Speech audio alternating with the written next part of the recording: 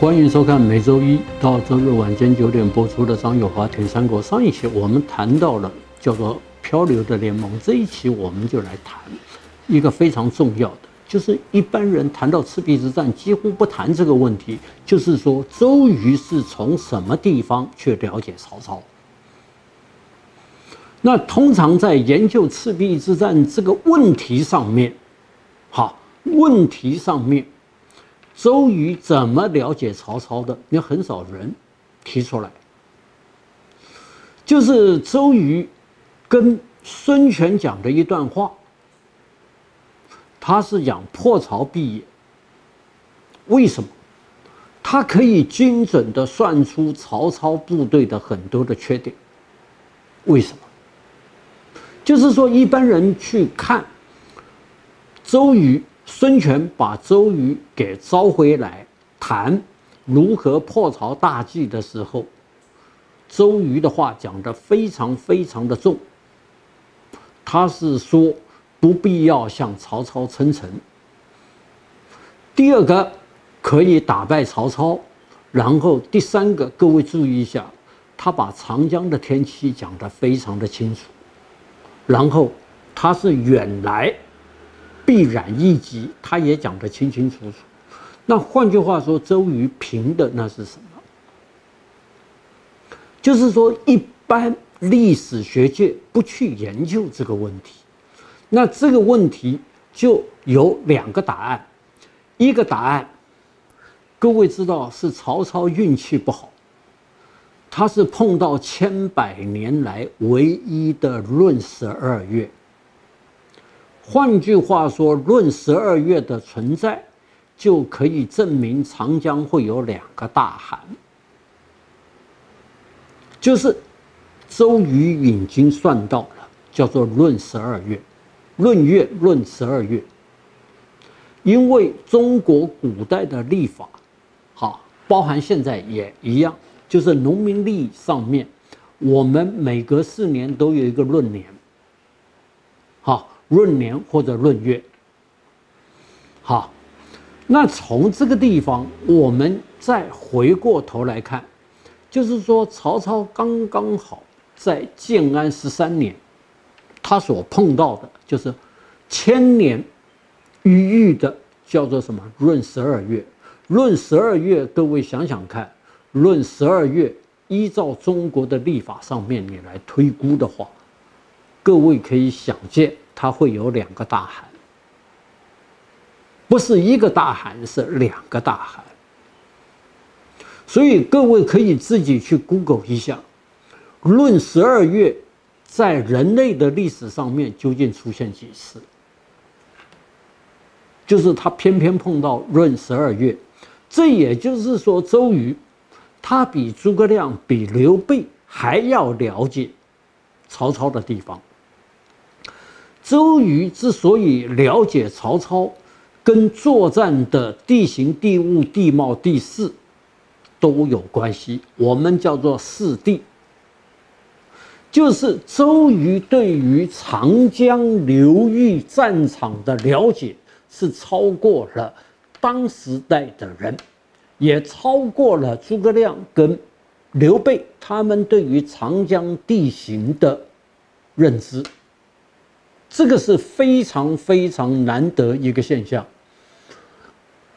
那周瑜可以说，由于他长期在长江周边进行军事活动，所以他了解到长江天气、气候还有气温的变化，这个就是促成了。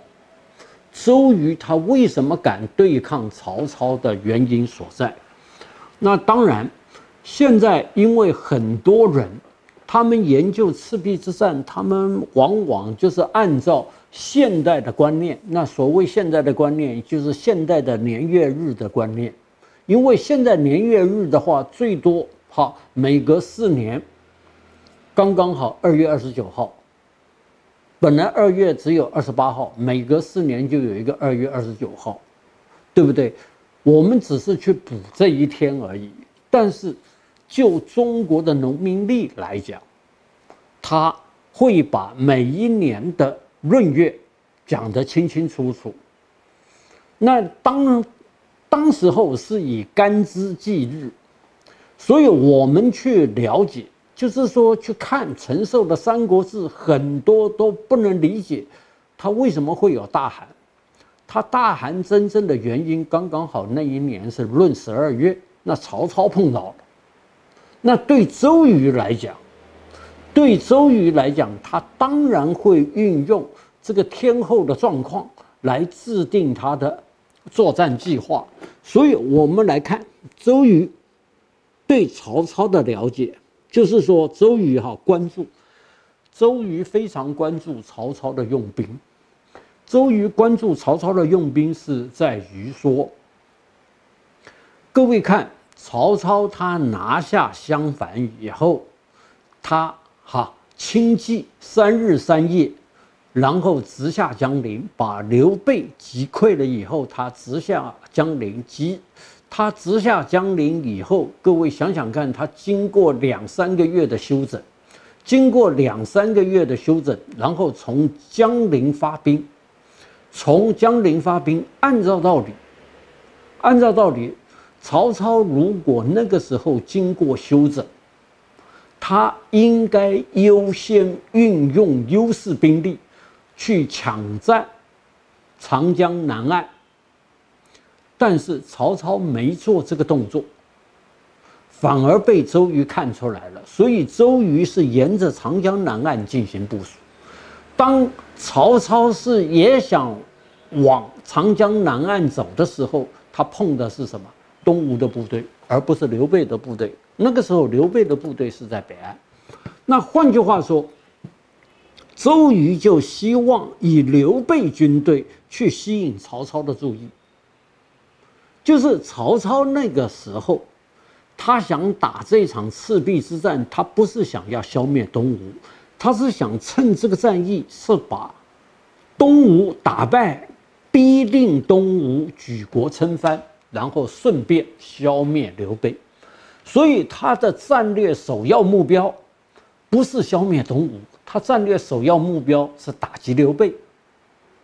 然后第二个目标叫叫东吴举国称藩，只要你降服于我，一切都好谈。然后第三个，他想统一真正统一荆州。那中荆州统一，各位去看看。如果曹操真要打东吴的话，他应该要派扬州刺史或者相关的幕僚人员接收江东六郡，但是他没有这样做。我们反而看曹操是派了荆州刺史，他也派了胶州刺史。那荆州、胶州，各位只要去看看。荆州、胶州刚刚好连成一气，所以他派张京担任了胶州刺史。好，他派，嗯，他应该也派了荆州刺史。所以我们从这个地方可以看得出来，就是曹操他主要的目的是要消灭刘备，然后收编。东吴，那这个是曹操寻军作战的目的。那周瑜呢？他也了解到曹操的这这一套战略构想，所以他命令刘备在北岸，北岸他主要是吸引曹军，那他自己在南岸活动。那从这个地方我们可以看得出来，周瑜就知道曹操的用兵之策。那他逼的曹操从江陵到巴丘，再从巴丘到赤壁，就是乌林，再到赤壁。他是在赤壁之战，赤壁一战以后，他退到乌林，退到乌林就是火烧战船。那换句话说，赤壁是遭遇战，真正主力战是在乌乌林。那乌林惨败以后，曹操从华容道撤退，所以我们可以看得出来，周瑜他是运用情报去掌握住了曹操的行军路线。所以呢，他才可以在这边处处设防。那处处设防，他主要的目的呢，就是说他要吸引曹操的部队进入他的战场。各位不要小看“战场”两个字。那现在军事学上面，他对于战场经营，他提的三个论点，一定要叫敌军进入到我的战场，而不是我进入到敌军的战场。这个是美军通常的打法。所谓的经营战场，就是说我选择的战场，我要让敌人也知道你如何进入我的战场。那其次，过去对于战场经营，它经常会有战争迷雾。所谓战争迷雾，就是因为情报资讯的不灵，他不能够了解到。你的行军部署哪一天会到达哪一个地方？那现在呢？这个透过现代的科技，已经可以解决战争迷雾的问题。那现在的战场经营叫后方指挥前方。为什么叫后方指挥前方？这边呢，我举两个例子。美国进军伊拉克，好，进军伊拉克在巴格达的外围。好，在巴格达的外围，跟伊拉克的麦地那斯，麦地那斯是一个装甲师，他们在那边进行装甲作战的时候，美国在中央司令部，他就通知了前线的将领什么事？他说你要注意，你右后方有一个战车分队向你。奔驰过来，所以呢，你赶快从那个地方撤离，然后交由所谓的阿帕奇攻击机来解决你右后方的威胁。这个现在的后方指挥前方也是一种战场经营的模式。那第三个战场经营的模式，就是说在战场上面所谓的直管通勤系统。C4ISR，那这一些连单兵都能掌握。所谓连单兵，因为你只要打开笔记型的电脑，你就可以看到很完整的兵力部署，连单兵都可以做到这种地步了。这个就叫一个战场经营。那现在在世界上战场经营最。最好的国家是哪一个国家？就是美国。俄罗斯没有办法做到，中国也没办法做到，其他法国跟英国也没办法做到这个地步。只有美国，他对于战场经营的理论方面的书籍写了一大堆。你尤其是 AI 时代，未来的战场经营模式。或者无人化军队的战场经营模式，美国现在已经在开始研究这一方面的战略思考的问题。那相对于其他国家还没有步入到这一地步，所以我们可以看得到，周瑜就是因为掌握了曹操的情报，还有他的行军路线，他可以从容的部署他的战场。那第二个，啊。各位来看，趁机取江夏。各位要知道，孙权三发黄祖，孙策也攻打黄祖，都没把江夏拿下来。那当然，这个里面的因素很多。那最重要的因素是内部不灵。然而，我们现在看，当孙权的兵力进驻在鄂州的时候。各位看看江夏的下方就在鄂鄂州，江夏的下方就鄂州，鄂州就是孙权曾经建都的地方，叫做武昌，跟现在的武汉三镇不一样。他就是趁机收复了江夏，那这是东吴第一次拿到了荆州的江夏郡。东吴敢拿下江夏。它主要的也是经过刘备的默许，否则江夏应该是刘琦的领地，而不是东吴的领地。在研究赤壁之战的很多的著作当中，对于江夏这个地方，你何时被东吴拿下，似乎没有多少人研究。但是，我们可以说，赤壁之战，东吴顺势拿下了江夏。那虽然，哈，虽然赤壁之战结束后，荆州豪杰重推刘琦为荆州刺史，而不是刘备。那这个时候不久，而刘琦就病死。那所以这个江夏的问题就没有人追究，因为江夏。不是刘备的地盘，也不是孙权的地盘，而是刘琦的地盘。所以呢，周瑜发动赤壁之战的主要目的，他必须要把长江沿岸的几个郡统统拿下来。他先拿的是江夏郡，但是南阳郡好，但是南阳郡跟南郡的北方是被曹操占领。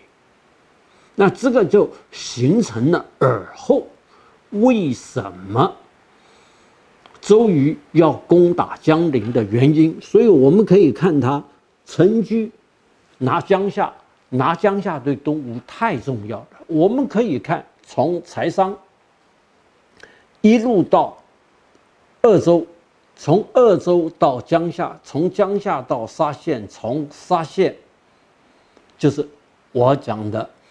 就是从沙县到赤壁、乌林，然后到江陵，这一条连线是过去东吴没有占领过的长江沿线。那这一次呢，周瑜就趁着发动赤壁之战，去把长江沿线完全打通。除了打通以外，他甚至于打到了峡口，峡口就是秭归。那从这一系列的看得出来，周瑜是想乘这一场战争去打通长江水路，这一点是过去研究赤壁之战的人你很少提到的。然后第三个，我们来看乌林战役，就是我讲火烧赤壁完，紧接着是乌林战役。那乌林战役刚刚好不利。曹操所谓的不利，除了水上兵力的不利以外，他陆上的兵力，因为在沼泽地区作战，曹操很少有这方面的经验。他在沼泽地区的作战也打不过刘备。为什么？在沼泽地区，那你想要动用骑兵部队是非常非常的困难，那只有动用陆军。